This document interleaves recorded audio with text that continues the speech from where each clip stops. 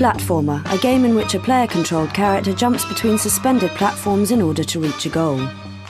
OK, easy start. Everyone knows what a platform game is. Arguably, the first platform game was Nintendo's Donkey Kong in 1982, in which Mario, known then only as Jumpman, had to jump over barrels and prance between girders in order to impress a lady.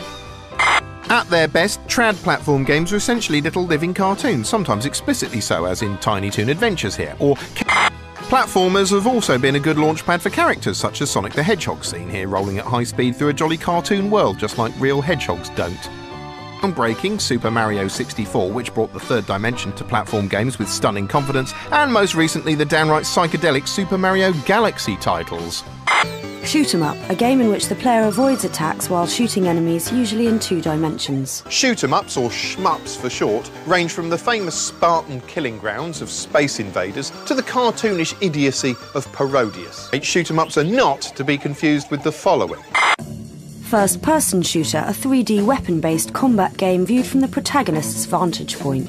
The earliest first person games for the home were basic flick screen affairs such as 3D Monster Maze on the ZX81, the first 3D game for any home computer, and it was surprisingly frightening despite its Spartan visuals and complete lack of sound and it was scary partly because at the time, seeing through the eyes of your character was a total novelty. Torrents of first-person shooters erupted, including stone-cold classics like GoldenEye and the sprawling sci-fi loveliness of the Halo series.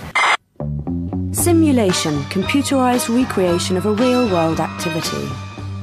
One of the very first Sims was Atari's eerie impersonal Battlezone, a tank simulator in which you hovered through a wireframe environment murdering blameless tanks. Flight sims have always been popular, albeit bewilderingly complex, and they're another good example of how graphics have evolved.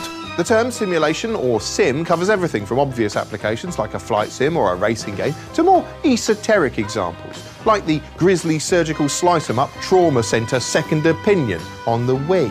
Doctor.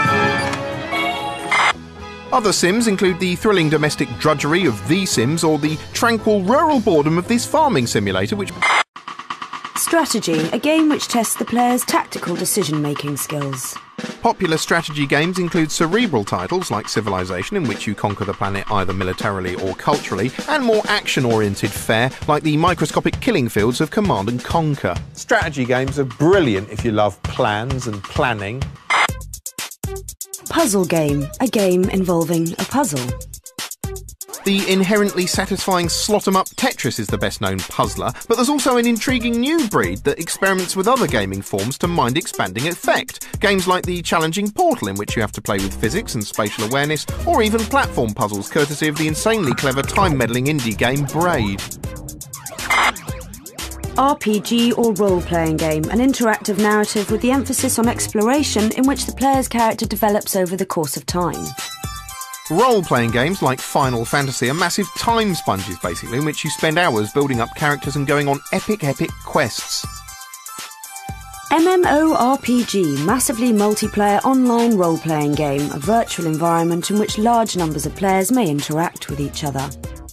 This is your World of Warcraft online fantasy world type thing, which soaks up hours of your time as you run around pretending you're an archmage. Casual games, video games aimed at novice players, often scarcely considered traditional games at all.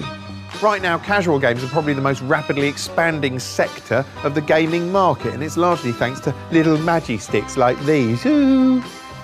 I'm not a huge fan of the Wii, largely because sitting around on my sofa flapping my arms around isn't my idea of entertainment. Although it does make some games, such as the brightly coloured Cooking Mama here, accessible to newcomers because you're performing actions rather than jabbing a complex array of buttons. For instance, how do you define the bizarre Wind-em Up flower in which you control a breeze blowing petals around, or the serene safari photography game Africa?